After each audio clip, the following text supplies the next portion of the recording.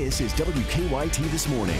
Good morning to you. Kentucky morning start here on WKYT, even after a tough night of storms. It was a long, loud night, right? Oh, it was. Lots of thunder and lightning. I'm Bill Bryant. And I'm Michelle Chamberlain. It's Wednesday, May 11th. It is, and now at 6.30, devastating images are coming out of western Kentucky, where a tornado destroyed homes and businesses. Some victims are saying they're relieved after learning of two arrests in connection to a string of arsons in central Kentucky. And a group of Richmond police officers will be leaving this morning for Washington, D.C. They're going there to honor a fallen brother. Still a loud morning for many of us down in southern Kentucky, especially across the 27 corridor, Science Hill to Somerset. Somerset to Burnside. It's a loud start to the day. And that is all moving toward Laurel County. I'm going to talk about a flood warning and also when you can expect these storms to move on out. That's coming up. All right, we need them to clear on out of here. A video of the damage speaks for itself this morning. It's going to take days for people out in western Kentucky to clean up the damage caused by a tornado. Yeah, at least 10 people were injured by the severe storm in Graves County. This morning, we're hearing from survivors. WKYT's Mark Barber is at our live desk this morning with their stories. Good morning. There are so many stories of heartbreak this morning as families try to save what they can from their destroyed homes. While those stories of loss are very difficult to hear, there are also incredible stories of survival. I was running down the road like a chicken with his head cut off, I guess. I got on the other side of that building, there's a swimming pool, and in front of that pool is a big tree, and I was just hugging that tree for life. He says that tree saved him from this tornado. You can see it whipping up debris as it carved a path through Mayfield in Graves County yesterday afternoon. Ten people were hurt, but no one was killed. When you take a look at just how powerful that storm was and how it ripped through homes and businesses, you can understand why so many people say they're lucky to be alive this morning. They were back actually over this area right over here where it collapsed. Mm-hmm. And you'll see the gentleman over there. Uh, and uh, he he urged them to get up here under this other part, which had a steel beam, and that really helped out a lot. Now this morning, people are starting the very long process of trying to figure out where they will go from here.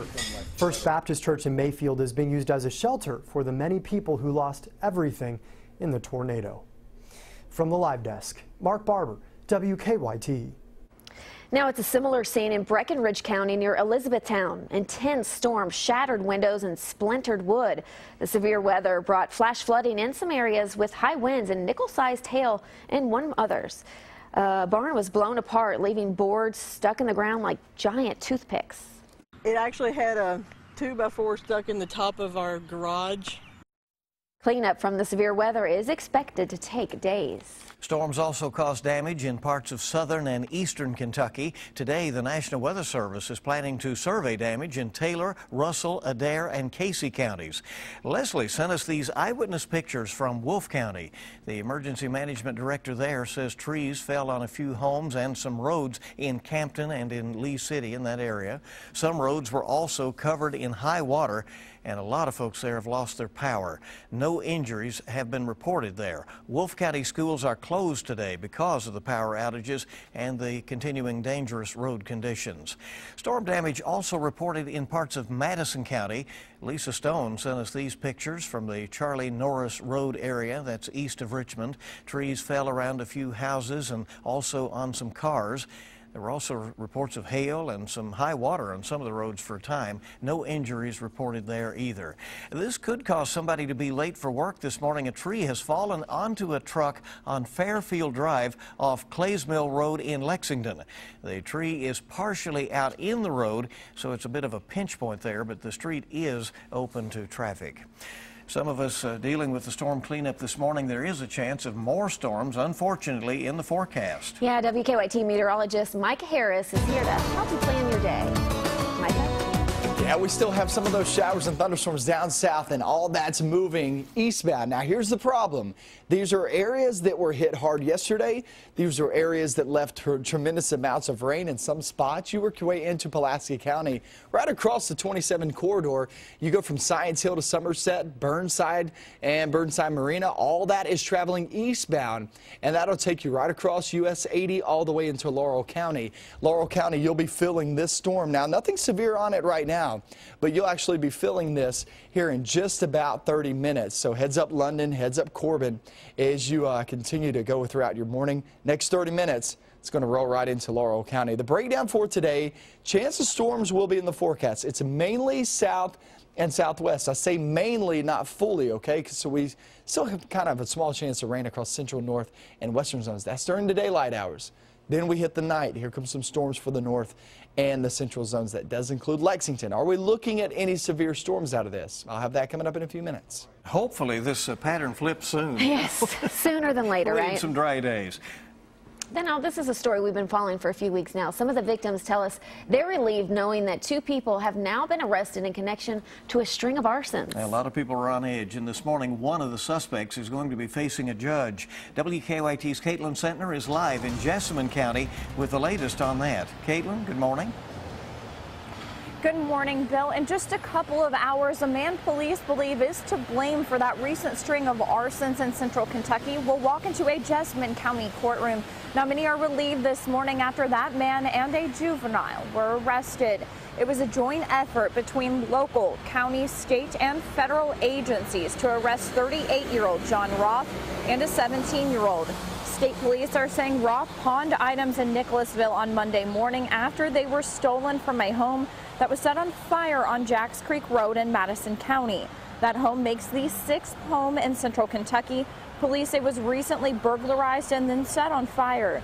Trooper Robert Purdy says the six fires happened in five different counties beginning at the end of April. This homeowner we spoke to lost everything.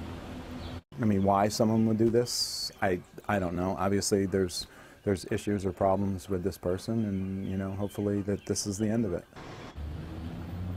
The juvenile arrested faces second degree arson and burglary charges. Now, as for Roth, he's charged with receiving stolen property. You'll notice he's not charged with arson. We're, we're told more charges could come. He's expected in court at 8:30 this morning. Live in Jessamine County, Caitlin Sentner, WKYT. Caitlin, thank you very much. Two people were killed after being hit by a train in southern Kentucky. That happened last night in Somerset at the West Columbia Street crossing. Investigators say a man and woman, both of them in their 20s, walked right into the path of an oncoming train. The coroner says the woman died at the scene and the man later died at the hospital. Their names have not been released this morning.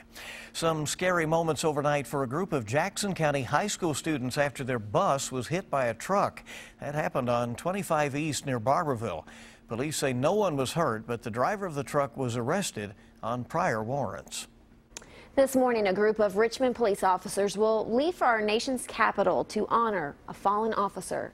Officer Daniel Ellis was killed in the line of duty last fall. This weekend, his name will be added to the National Law Enforcement Officers Memorial in Washington, D.C. More than two dozen Richmond police officers are headed to Washington for the ceremony, along with Officer Ellis's family.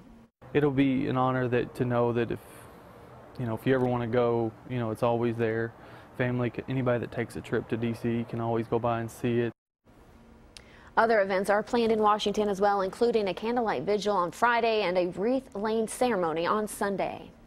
Well, a new retailer is moving into Lexington's Fayette Mall. Clothing store Torrid will be opening up this fall. This will be the first Torrid store in Lexington. There is one at the outlet shops of the Bluegrass in Simpsonville. Fayette Mall says construction will start soon.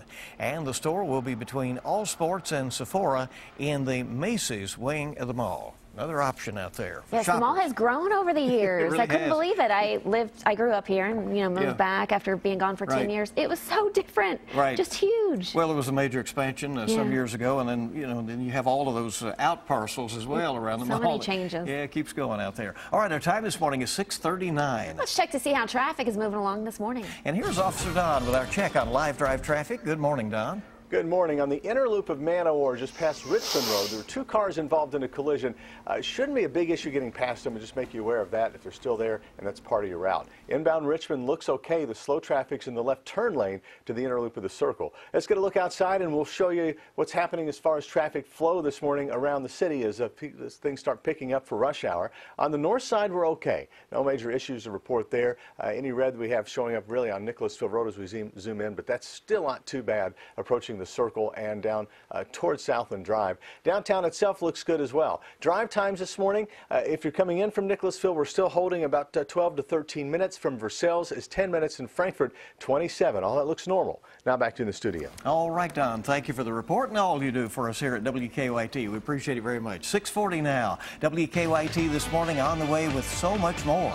Even moms in the animal kingdom will go to great lengths to protect their little ones. Find out the extraordinary steps this goose took to get help for her little baby. Aww. Still some noisy weather down south, and that continues to make its way eastbound. It's not really calming down anytime soon. When does that move on out? Do we see more storms today? I'm going to have that coming up in just a few minutes. And as we go to break, you're looking at downtown Lexington this morning as the city comes to life on your Wednesday, and it's so good to have you with us here on WKYT this morning. Now, your hour by hour forecast with meteorologist Micah Harris. It's a really loud go at it down south early this morning. We had some rumbles overnight. Rumbles came flying through Lexington right around midnight, woke me up. And these rumbles last for a long time. I mean, the, the one this morning, I mean, you were talking five to 10 seconds of just constant rumbles. And that's exactly what we're seeing. No severe weather uh, going on right now. Now we do have a, a, strong cell. Just made its way through Somerset. This is going to actually head right along Highway 80 and also 461. 461 will actually take you into Rockcastle County into Mount Vernon. Highway 80 goes toward Laurel County uh, there in London. You're going to see both of those areas be affected by this storm, especially if it sticks together. We'll see if that sticks together, but I do believe it'll have enough punch to actually move off next 30 minutes or so. So heads up Livingston, southern uh, Rockcastle County, you're going to be rolling through this here in just about 20 minutes. London, Corbin area already seeing some uh, pretty ominous clouds sliding on through as I've seen that on Twitter. On Twitter, uh, Johnny Nicholson actually sent me a picture of uh, what looked like a shelf cloud off in the distance. Yeah, but some pretty ominous weather down south. Like I said, no watches outside, no warnings. We haven't had a warning for several hours. So most of this just some heavy downpours and also some lightning. Temperatures there in the 60s. So if you're walking outside where you're not seeing the rain, actually feels pretty good. This model is actually handling this pretty well, and it has been the past few hours. So we're pretty confident in this. Watch this, okay? Daylight hours, daylight hours. It's going to be totally different from nighttime. Who sees rain, who doesn't? So, so daylight hours, look at your hour by hour. Here's noontime, not much going on. Still a couple of showers back toward east and southeastern Kentucky, but that's about it. Okay, then we get into the afternoon. There is a boundary that's set up right through here. Every single weather model is showing this. Remember I was talking about this yesterday where weather models, they were not agreeing on timing. They were not agreeing on what was going to happen. Uh, but nonetheless, when you start to get those agreements with all these weather models, then it makes you more confident in the forecast. So we're pretty confident that the best chance of rain today is going to be closer you get toward the Cumberland region. Daylight hours. Then we get off into the night. Look at midnight. Look what happens. Here comes a piece of energy sliding up the Ohio River, heading our direction northern half of Kentucky heads up. That looks like the best shot. Uh, just after midnight, there's 3 a.m. Uh, to get some of these thunderstorms. Remember, only isolated severe chances for today. That'll take you into tomorrow morning, and only isolated severe chances tomorrow. It's no widespread severe weather like we saw yesterday. Uh, but nonetheless, Thursday we get more showers, more thunderstorms rolling on through, some heavy rain. My main concern the next 48 hours will be flooding because the grounds are very saturated, not just from yesterday, but the past several days, okay? So just keep that in mind with that marginal risk of severe storms, obviously, that's the lowest end that you can actually have. Enhance is what we had yesterday, but today and tomorrow, it'll be a marginal risk. So just keep in mind, you'll get some strong storms here and there. Let's talk about your seven day real quick. Today and tomorrow are your wet days in the forecast. Remember, tomorrow uh, still looks like the better opportunity to actually see some of these rumbles of thunder in the forecast. So it, it looks like today is about a 40% chance of rain, mainly south of I-64. But tomorrow looks like a pretty good chance, about 70% chance tomorrow is what we're going to be expecting. Friday, guys, looks like the break in the forecast.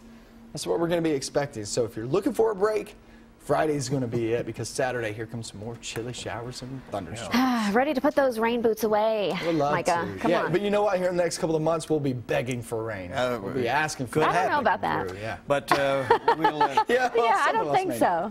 we'll look forward to Friday, one way or the other, right? Okay. Thank you very much. Now, police up in Cincinnati, they came to the rescue of a feathered family in trouble. Sergeant James Givens says he was parked near a creek when a mother goose started pecking on his cruiser door. Eventually, she walked away, but she kept looking back, so he followed her. Sergeant Givens says the goose led him right over to her baby. It was all tangled up in some string that was tied to a Mother's Day balloon. Now, Givens and a specialist couldn't get any help to come out, so they took matters into their own hands. Well, she has a couple kids of her own, and I guess that motherly instinct must have kicked in because uh, like they communicated, the, the mother goose didn't bother her or anything. And so uh, Specialist Sharon came and uh, untangled it. You know, it took her a while because it was all wrapped up.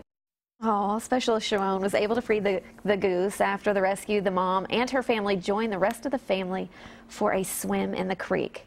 A great story there. Yeah, that Mother Goose just pecking on the door trying to save her baby. Right, as you say, the mother's instinct, both uh, by the mother goose and by the specialist who, uh, you know, knew what to do. So it's kind of moms working together in that situation. They say it kicks in. I believe it. Good story there. Our time is 648 on WKYT this morning. Great to have you with us. And our top stories are on the way. Yeah, we have more news when we come back. Coming up, we're at a Massachusetts shopping mall where an heroic off-duty officer stopped a deadly stabbing spree. Plus, we report from Capitol Hill on Donald Trump's challenging effort to unite the GOP. More real news coming up on CBS This Morning, next. Welcome back into WKYT this morning, 652, and we're just a few minutes away from CBS This Morning at the top of the hour.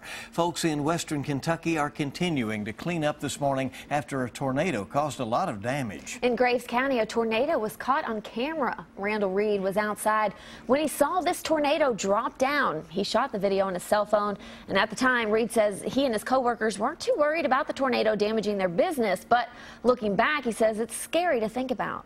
He saw the tornado hit a business about 500 feet away from where he was.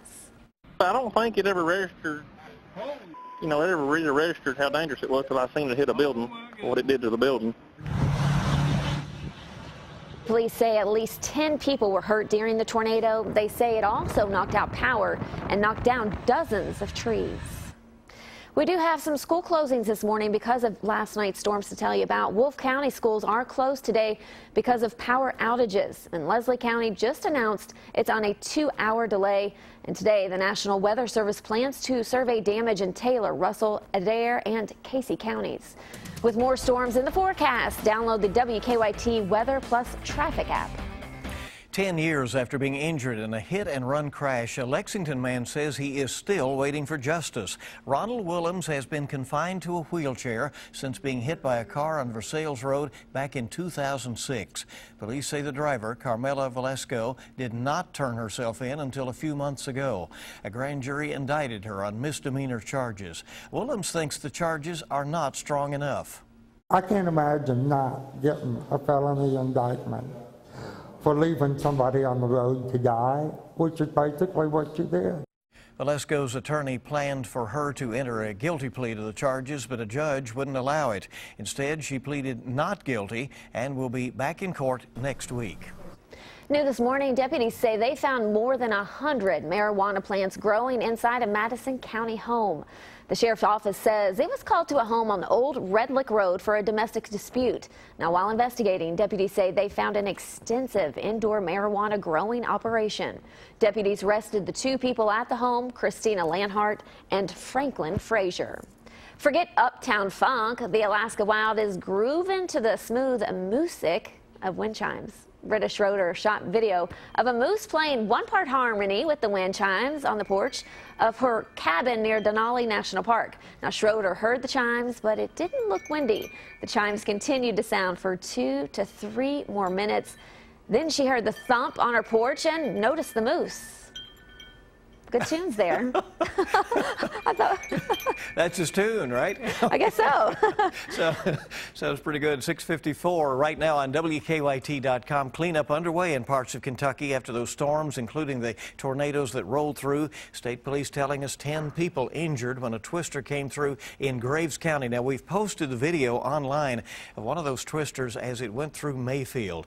And our weather pattern, Micah says, remains bumpy for the next 48 hours or so. His forecast forecast is updated online, and you'll find our First Alert Defender network and real-time observations as well as we're looking for calmer conditions. We have more details about the arrest of an adult and juvenile in a string of arsons in central Kentucky. You can read up on how police think they have ended that series of fires that had so many people on edge in their own homes. Bernie Sanders pulling off a win in West Virginia, but still trailing Hillary Clinton in the delegate count. Kentucky's primary is coming up next Tuesday, and the Clinton blitz will continue. Former President Bill Clinton will be making three stops in Kentucky tomorrow.